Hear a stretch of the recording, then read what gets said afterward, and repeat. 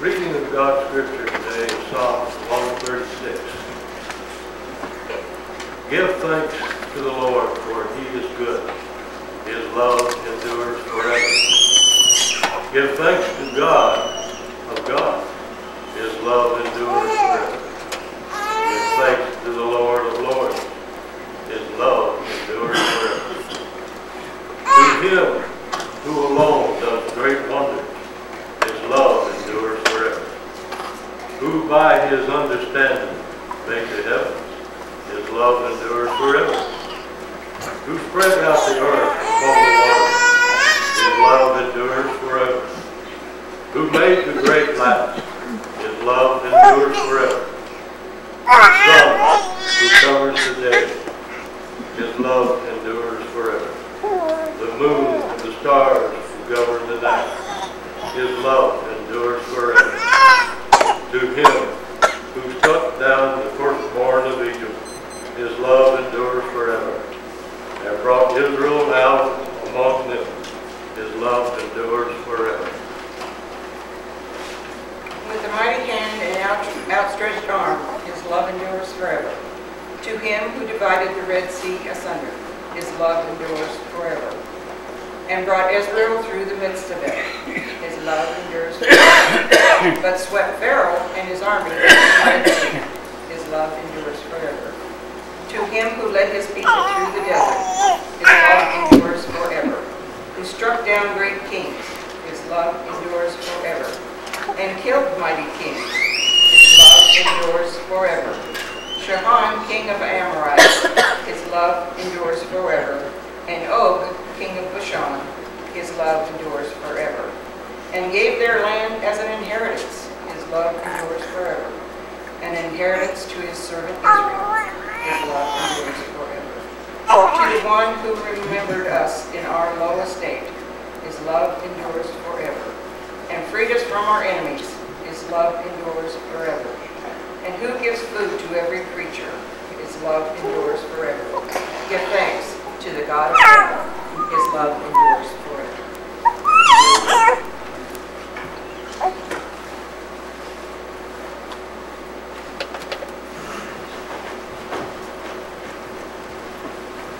Good morning. Good morning. Let's start with prayer. Father, we do thank you so much that your love endures forever, that you are love. Father, we cannot fathom the love that you have for us, that you would love such sinners as us, enough that you would send your Son to die in our place. But we praise you and we thank you for it. You are the God of all gods, the King of all kings, Lord of all lords, and you deserve our praise so much more than we ever give. Lord, just praise, please rain down your spirit upon us today. Help us to just catch a glimpse of how much you do love us so that it will just change us from the inside out. We pray this in the name of Jesus. Amen. So hopefully you guys did something special for your ladies for Valentine's Day. This is a week that we should be sure that we're loving.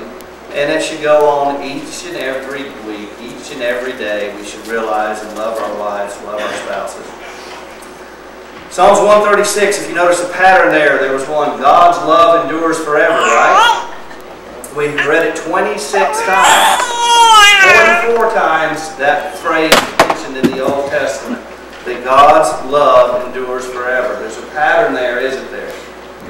It's foretelling that God loves us so much that He would send His only Son to die for our sins.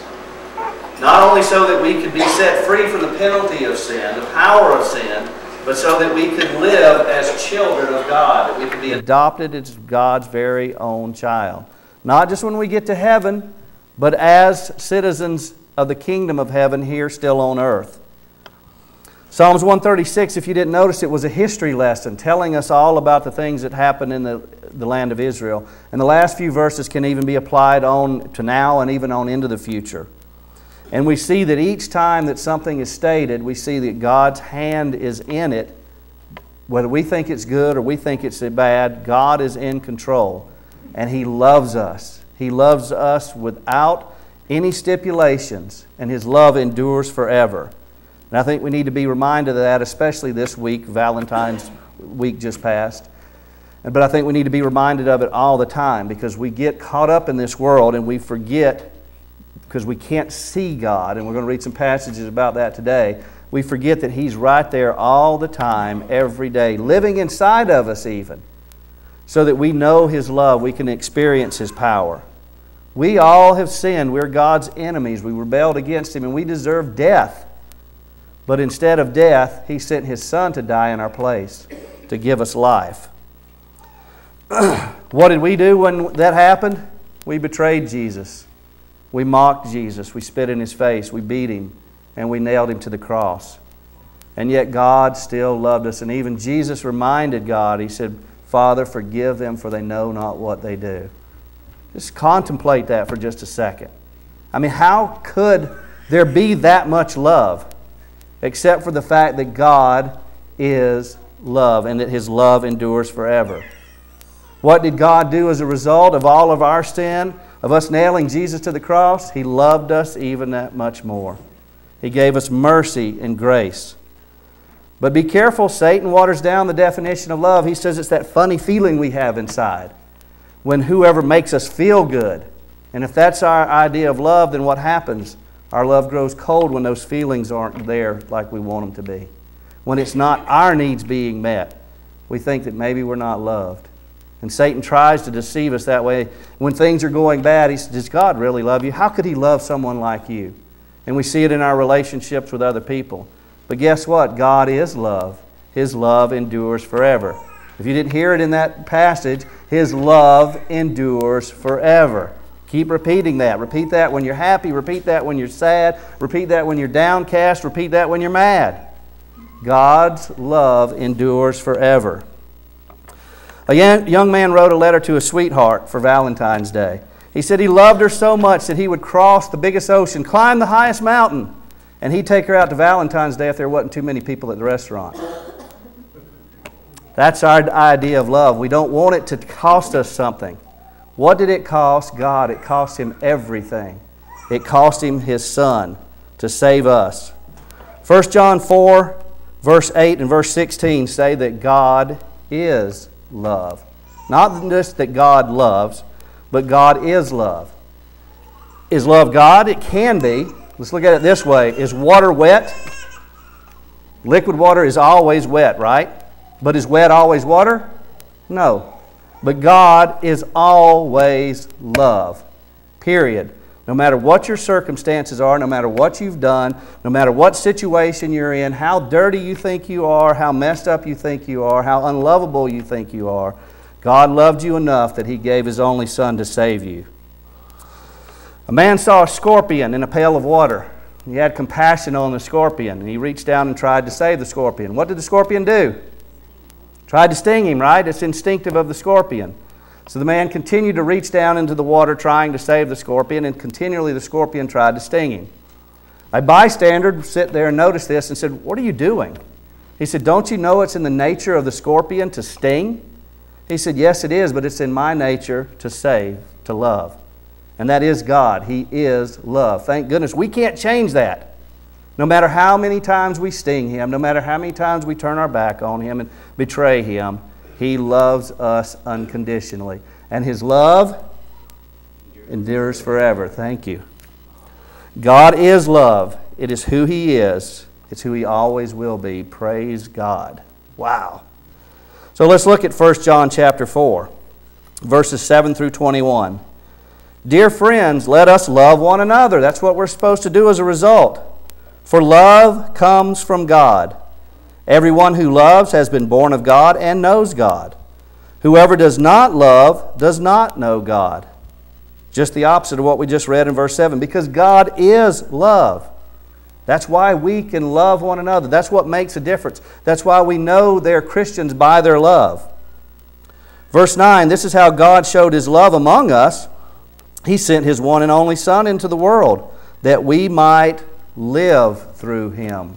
Not that we might just be saved, but that we might be lived because of our lives, because of a life of love, because of a life of servanthood, a life of compassion, a life of grace. Others will see and know that God is real. They will see his love through us. Verse 10 This is love. Now, not that we love God, but that he loved us and sent his Son as an atoning sacrifice for our sins. Dear friends, since God so loved us, we also ought to love one another. No one has ever seen God, but if we love one another, God lives in us, and his love is made complete in us. That's the opposite of what we would think naturally. We think it's much easier to love God, who we haven't seen, because we hear of his attributes, we see his glory in creation, but I can't love Joe down the road because he's just mean and nasty, right? It, this is the opposite of what we think. But the Bible verse here says that how can we love God if we can't love our neighbor who we have seen? How can we not have compassion and caring for our neighbor who we do see and know? And even more for the reasons in his life that makes him mean and nasty. Maybe he hasn't had things as good as you. Maybe he didn't have anybody on Valentine's Day tell him how much that they loved him. Maybe he needs to love, learn the love of God so desperately, and he needs to see it through the living Word of God, you, in your testimony, in your life, in your love. Verse 13 This is how we know that we live in him and he lives in us. He has given us his Spirit. And we have seen and testify that the Father has seen his Son to be, has sent his Son to be Savior of the world. If anyone acknowledges that Jesus is the Son of God, God lives in them and they in God. And so we know and rely on the love God has for us.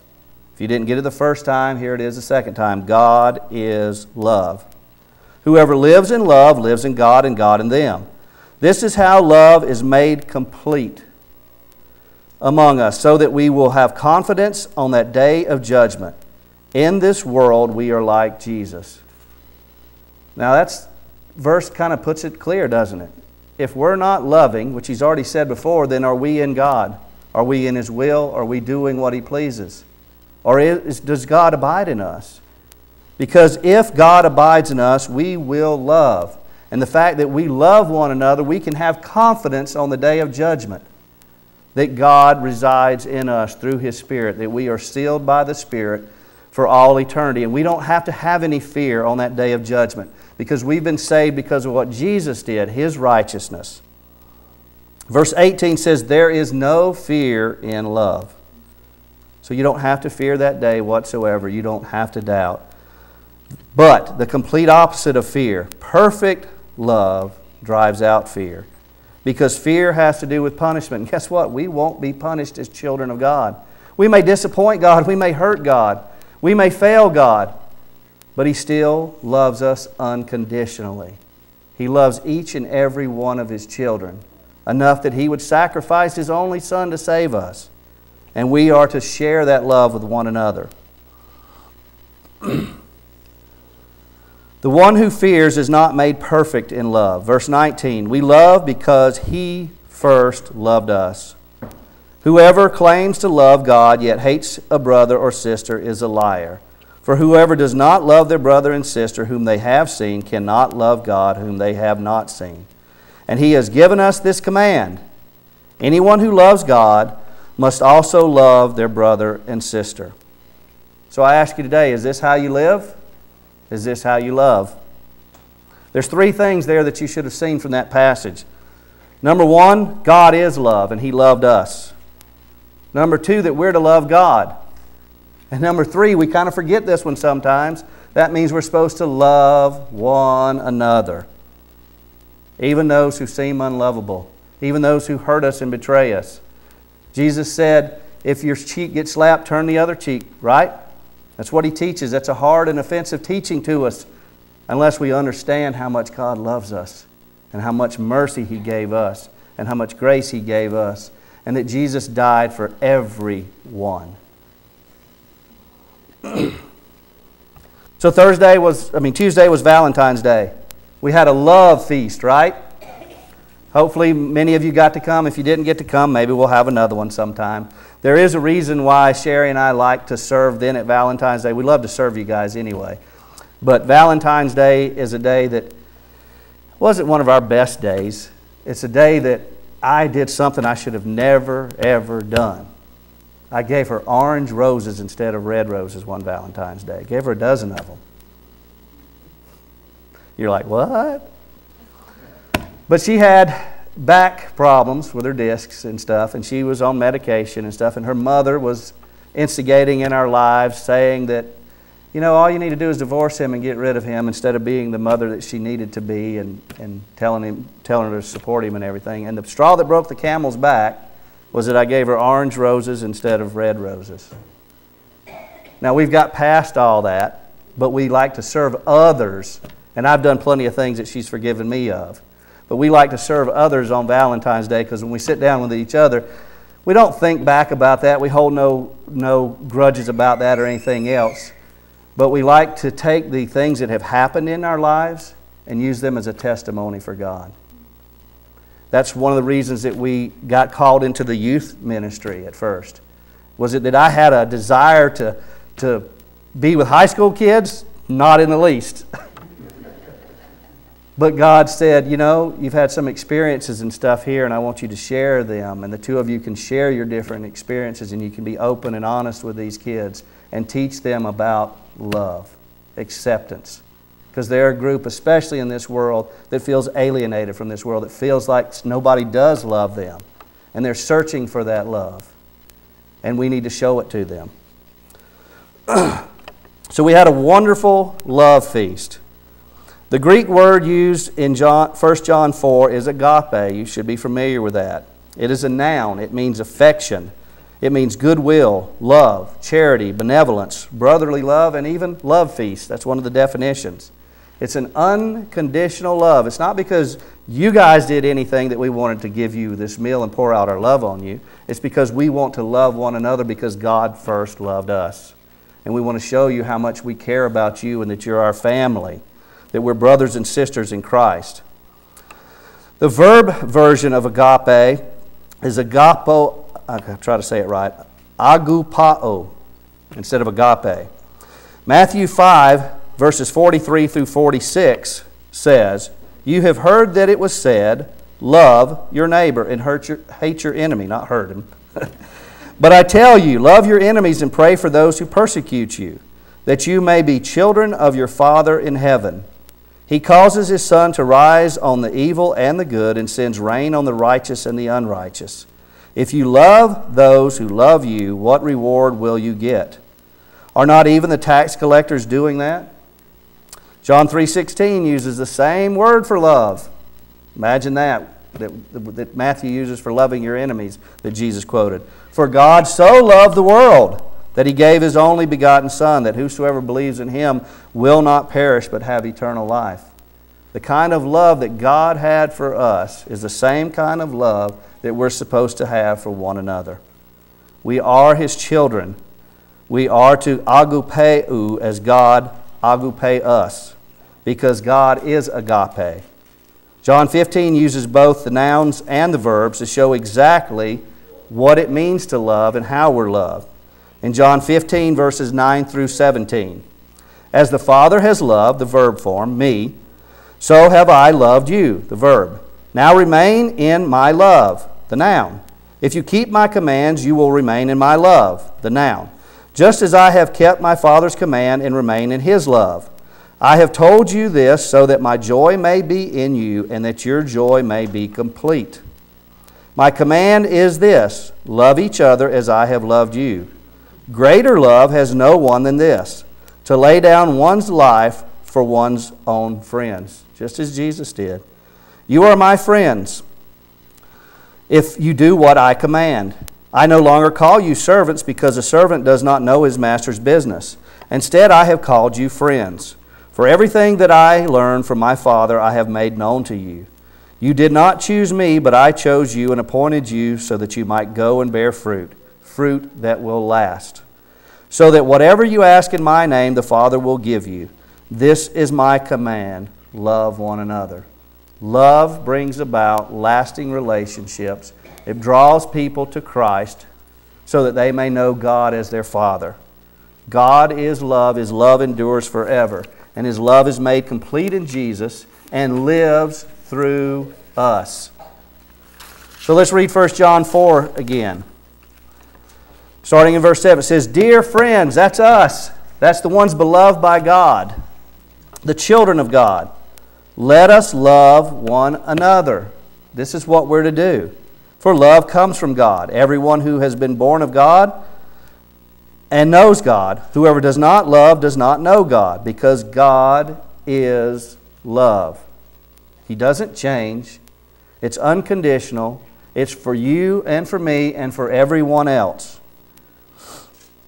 This is how God showed His love among us. He sent His one and only Son into the world that we might live through Him. And we just read in the previous passage in John that we're supposed to have the same kind of love for one another, even to the point of laying down our life for a friend. Verse 10 This is love, not that we love God, but that He loved us and sent his Son as an atoning sacrifice for our sins.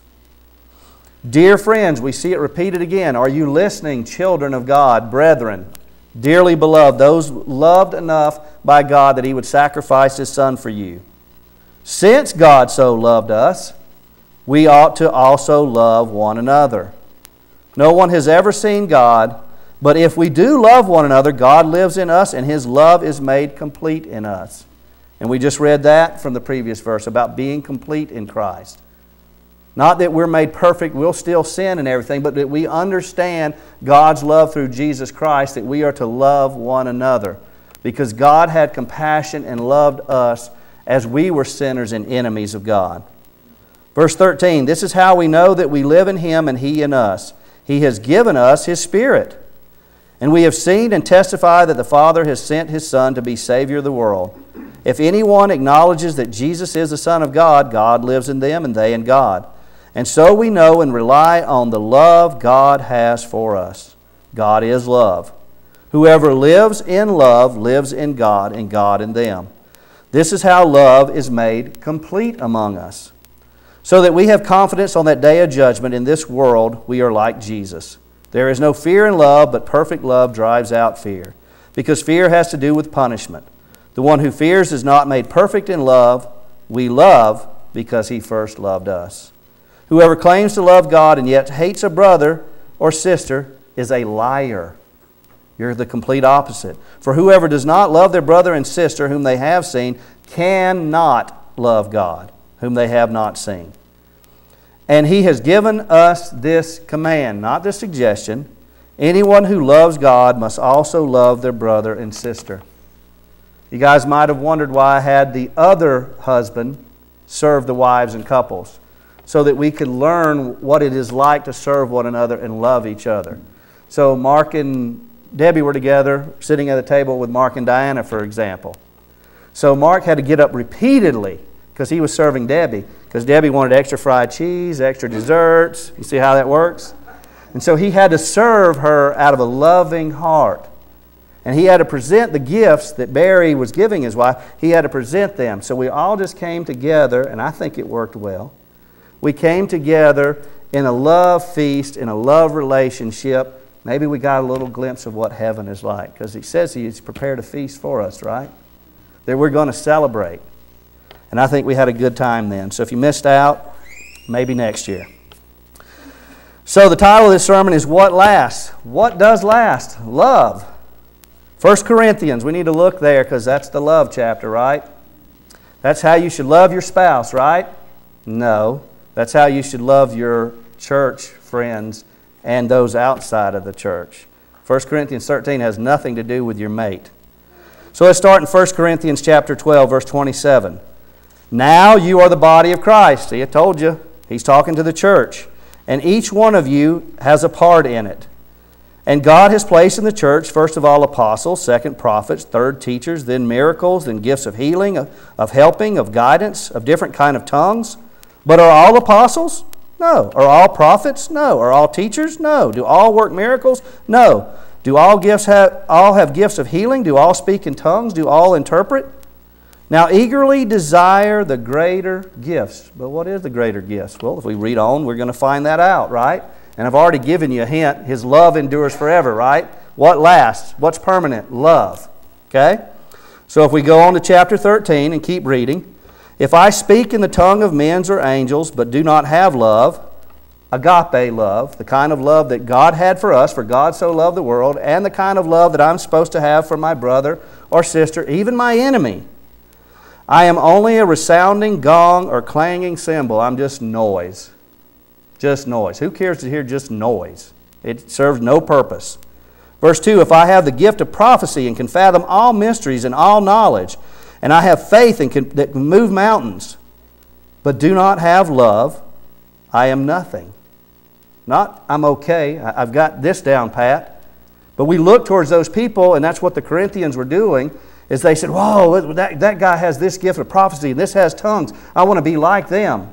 And Paul's saying, Desire to love one another. That's what matters.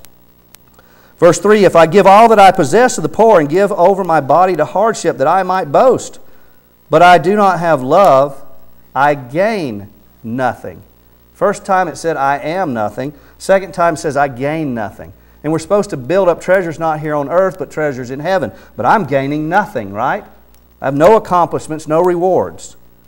Verse 4, let me explain what love is. Love is patient, love is kind, love does not envy, love does not boast, love does, is not proud, love does not dishonor others, love is not self seeking, love is not easily angered. Love keeps no records of wrongs. Love does not delight in evil, but love does rejoice in the truth. Love always protects, love always trusts, love always hopes, love always perseveres.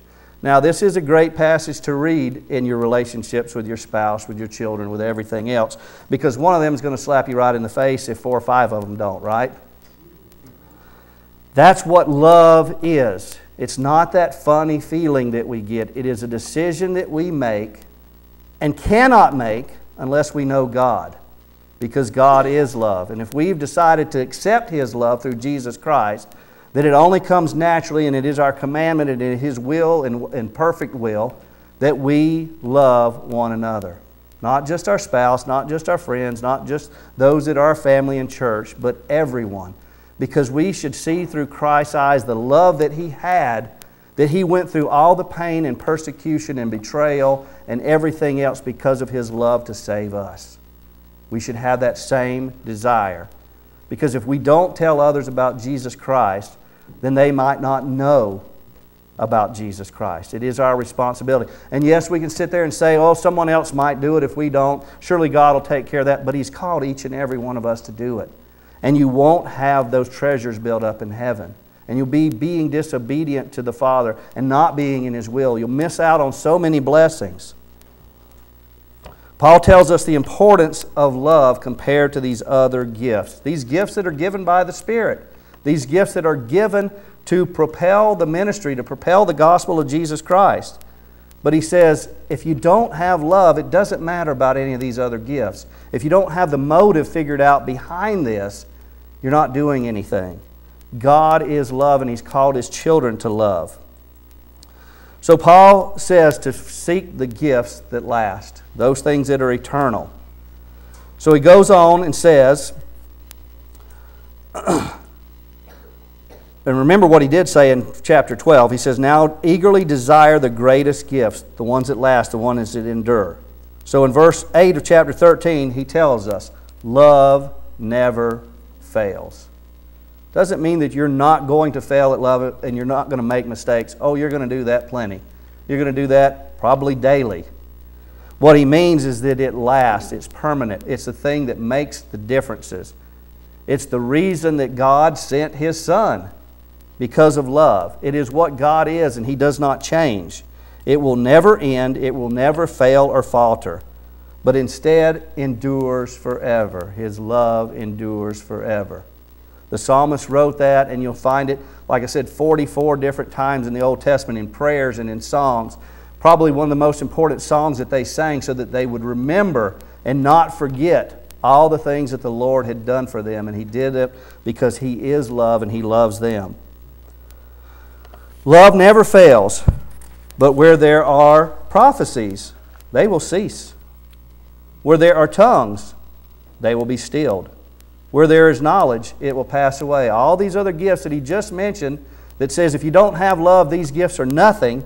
He says not only Are these gifts nothing without love? But these gifts will end. There will come a time when we spend eternity in heaven, and there will be no need for these gifts anymore.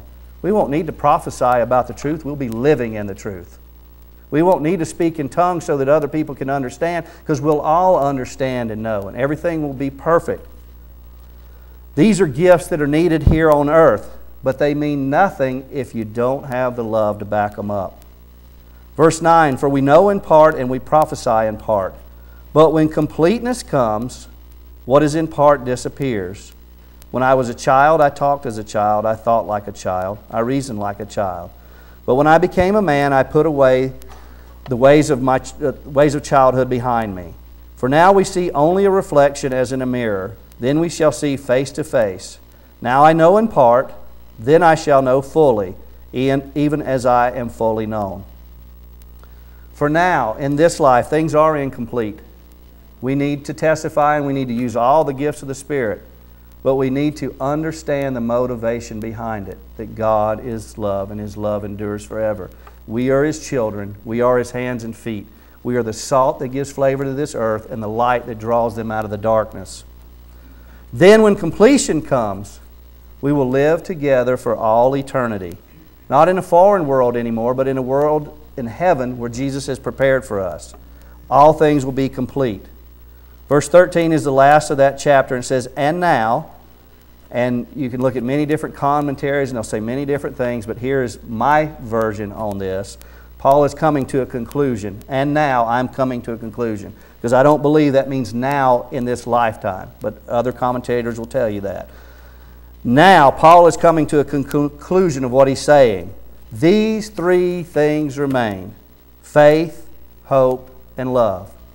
You see, without faith, we never believed in the first place. Faith is trust in God, believing what we cannot see, believing that God's love does endure forever, so that we have hope. Not hope as mankind defines hope, but hope that without a doubt, that we know with complete certainty that we have nothing to fear on that day of judgment, that we will spend eternity with God, our Father, in heaven.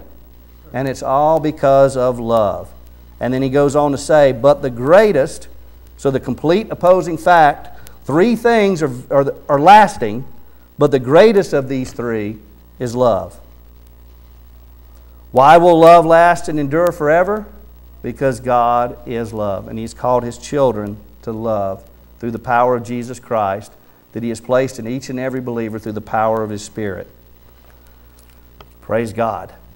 But Satan wants to deceive us. He doesn't want us to believe this. He wants to tear our relationship down. He wants to tell us we're not worthy, that we can't do it when we have the power of God living inside of us.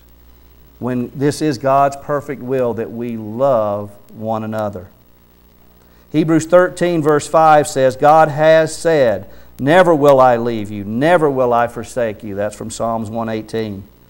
Romans 8, 37 and 39 says, No, in all these things we are more than conquerors through him who loved us. For I am convinced that neither death nor life, neither angels nor demons, neither the present nor the future, nor any powers, neither height nor depth, nor anything else in all of creation will be able to separate us from the love of God that is, that is in us through Christ Jesus our Lord. So many people will quote that verse and say it so many ways, but what it's saying here is that God loved us and nothing, nothing, nothing can separate us from that love. We are His children. By faith, we have hope, and we are called to be united in love because God first loved us. Jeremiah says, I have loved you with an everlasting love. The Old Testament says it over and over again. We saw it 26 times in that psalm. It's a constant, it is everlasting. It will not falter, it will not cease it will not even decrease. As we do more and more things that should take us away from the love of God, what does He do? He pours out more and more mercy and grace and love. He loves His children with an unconditional, unfailing love. Wow. 1 John chapter 3 verse 1 says, "See what great love the Father has lavished on us, that we should be called children of God." 1 Corinthians 14 1 says, Follow the way of love and eagerly desire the gifts of the spirits, especially prophecy, even. But as we learn from 1 Corinthians 13, that if we don't have love, we're not getting the picture of it, are we? That we're to serve one another, to love one another, even our enemies. One Valentine's Day, a little boy was preparing his Valentines for his classmates. Y'all remember that? I know I did when I was back in elementary school. I was in Miss Ashley's class in first grade. And I had a little sweetheart. Maybe she'll hear this one day online. Her name was Beth Gay. And of course, I wanted to give her a Valentine's. But see, we gave Valentine's to everybody in the class. I don't know if that's what you did or not. Your mom went and got the box of Valentine's Days. Probably in that day, they were Snoopy Valentines and stuff like that. Or you made your own. The girls were more creative and made their own, but guys didn't. But guys even gave, because we had that childlike love, guys even gave other guys Valentines. We weren't too good for that. You might just sign it Alan or whatever. You know, you didn't put love necessarily but you had a little name up there with all the bags, and you put your Valentines in each one. You didn't leave anybody out. That's the perfect example of what our love should be like. We don't leave anyone out. We have that childlike love. Well, there was this one time when mom, she has her knowledge, and it's not that childlike knowledge. She knew that her little boy was not the most popular in class, and she dreaded Valentine's Day because her son was going to go and he wasn't going to get as many Valentines as others. She walked, watched him walk home from school, and he always walked behind the other kids that were talking and playing. So she dreaded that day. So she sent him off to school with all of his Valentines. They had prepared them and everything, and she was preparing for the worst when he came home. She had fixed him his favorite dessert, and everything was ready to give him sympathy and love that only a mom can. And she sees him walking up the road, and he is walking behind the others. All of them seem to have a little skip because today they got Valentine's Day, right? Today's a good day. So he came in the house and he went right by and she says, Don't you want to eat something? I prepared this for you. He said, No, no, I, I don't want to eat anything. And he just went mumbling off to his room, Not one, not one. So she just knew he didn't get one Valentine that day.